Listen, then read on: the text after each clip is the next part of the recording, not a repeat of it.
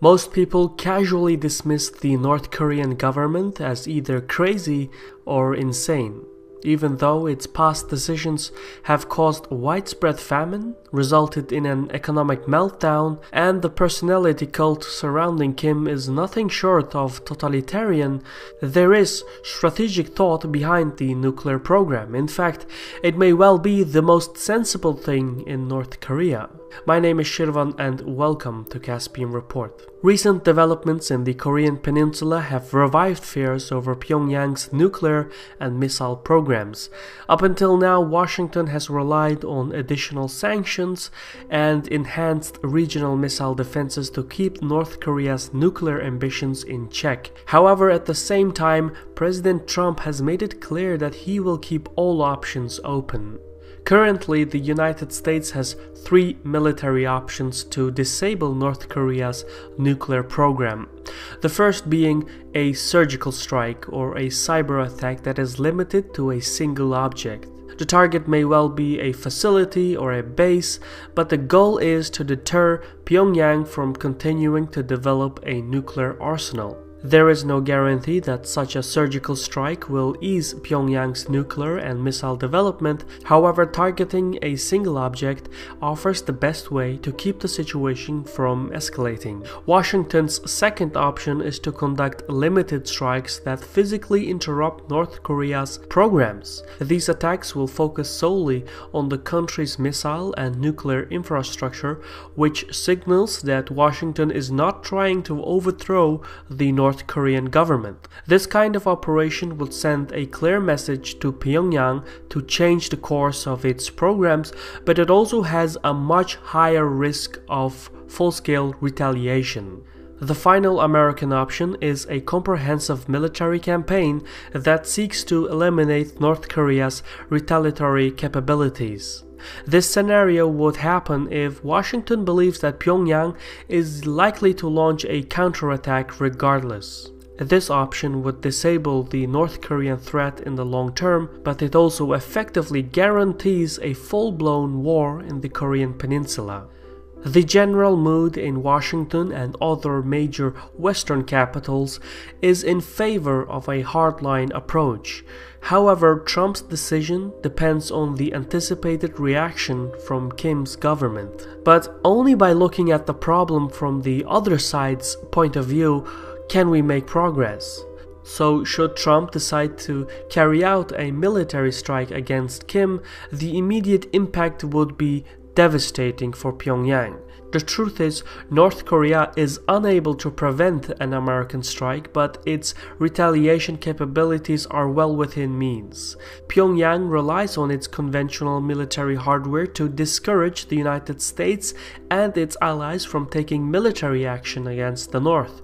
The country has a wide range of short and medium range systems that can inflict enormous damage to large portions of South Korea, including its capital. So far, this status quo has maintained the balance of power in the peninsula. However, as the technological gap between Seoul and Pyongyang widens, many of the North Korean systems are increasingly obsolete, meaning North Korea is gradually losing its conventional deterrent. As Pyongyang's retaliation capabilities diminish over time, the ruling elite believes that it's only a matter of time until the Americans decide to strike. Therefore, to ensure the preservation of the government, the North Korean elite is working towards a national security that is based on asymmetric capabilities and weapons of mass destruction. As such, Kim's government has made tremendous investments to develop long range ballistic missiles.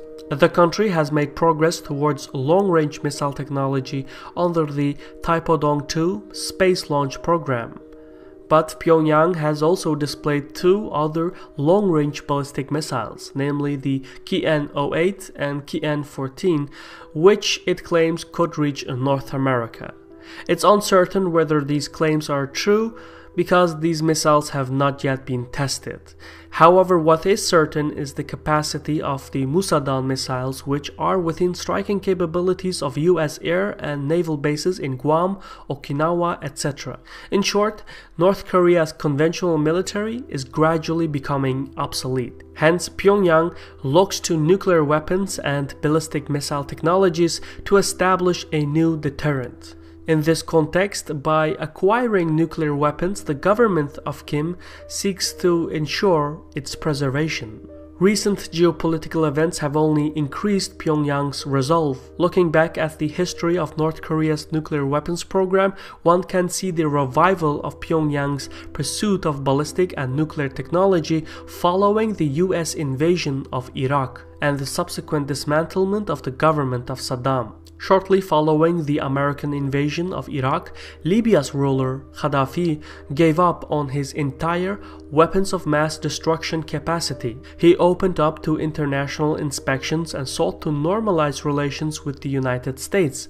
Then, the Arab Spring erupted in 2011. The government in Tunisia and Egypt were overthrown. In Libya, clashes between law enforcement agencies and opposition movements turned to violence, and as soon as the first shot was fired, Washington abandoned its agreement with Tripoli. Instead, the American leadership encouraged a revolt and intervened along with NATO to aid the Libyan rebels. The military intervention led to the capture and death of Gaddafi. Meanwhile, Libya fell into total chaos. Jihadist groups rose and subsequently it further destabilized the nations in the Sahel region.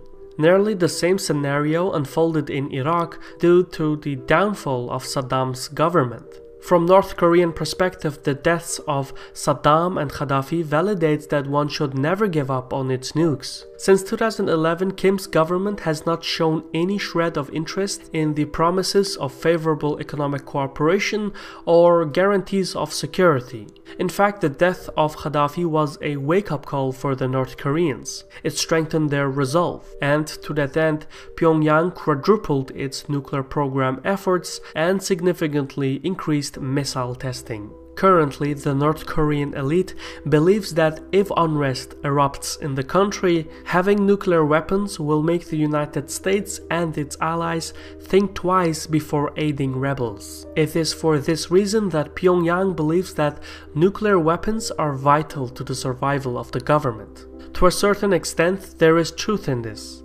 The US government has a long record of overthrowing uncooperative foreign leaders, but none of them had nukes. North Korean officials have repeatedly mentioned that if Saddam or Gaddafi possessed weapons of mass destruction, they would still be alive and the United States would not have invaded their countries. But these examples are not just limited to the United States. In 1994, Ukraine agreed to remove the nuclear weapons it had inherited from the Soviet Union in exchange for security guarantees from Russia, the United States, and the United Kingdom. Yet, regardless of the Memorandum of Understanding, two decades later, Russia invaded and annexed Crimea. So the government in Pyongyang believes that when a nation has the strength to break or bend the rules, then it's likely to do so at some point in the future. And the only deterrence is nuclear weapons. For North Korean policymakers, there are simply no alternative options than the preservation of the state. Even if members of the elite were given passages to third countries, sooner or later the International Tribunal in Hague would catch up on them. The truth of the matter is that for the North Korean elite, there is no escape and there are no viable alternative options. The country cannot open up to outside influence or seek unification with the South. The German unification shows that Western backed governments will absorb the former communists.